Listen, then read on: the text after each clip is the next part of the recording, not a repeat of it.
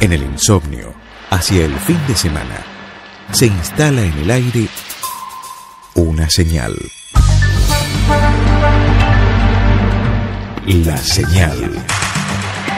Un encuentro con vos mismo. La señal. Con Jorge Luis del Conte. Jorge Luis del Conte.